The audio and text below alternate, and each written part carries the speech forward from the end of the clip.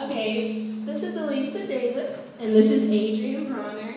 and we serve in student ministry with book club.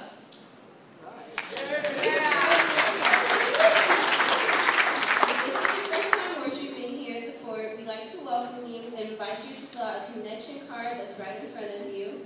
You may trade your card in at the Welcome Center at the main entrance for a gift and information on our ministry's mission. We encourage everyone to register your attendance in the pad so we can get to know you and help connect with you. Next Sunday morning, we'll be celebrating Easter together.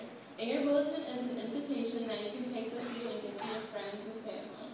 On Easter worship, our Easter worship will be during our regular hours, 8:30, 10 o'clock, and 11:30. If you'd like to be baptized